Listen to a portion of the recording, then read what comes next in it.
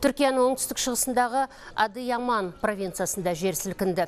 5,2 балдық зілзаладан 39 адам жапа шеккен. Олардың 35-і ауруханаға жатқызылды. Бұдан бөлек аймақта талай ғимарат зақымданған. Кейбірінің қабырғалары мүлдем қирады.